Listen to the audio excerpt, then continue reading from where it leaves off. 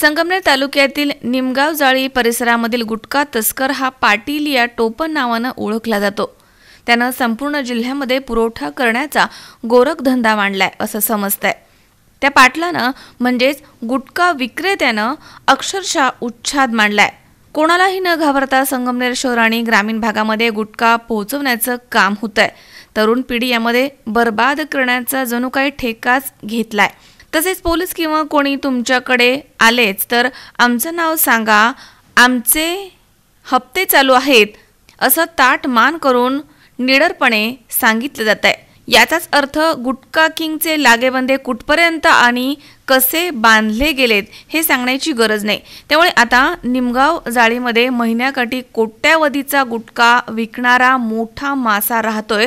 तसेच त्याचे भले मोठे गोडाऊन देखील या ठिकाणी आहे आणि निमगाव जाळी येथील गुटखा तस्करी करणारा आणि टोपण नावानं ओळखला जाणारा तो पाटील कोण? त्याच्यावरती कारवाई कधी होणार? असाच प्रश्न निर्माण झालाय. दोन दिवसांपूर्वी अहमदनगर येथील अन्न आणि औषध प्रशासनाच्या अधिकारी यांनी संगमनेर शहरामधील छोट्या टपरीधारकांवरती कारवाई केली परंतु निमगाव जाळी येथील गुटखा तस्कर तसेच संगमनेर येथील तो गुटखा किंग अद्याप देखील छुप्या पद्धतीनं गुटखा विक्री करतोय. त्यामुळे त्याच्यावरती कारवाई कधी होणार हाच मोठा प्रश्न निर्माण झालाय. शावीद शेख सी चोवीस तास संगमनेर.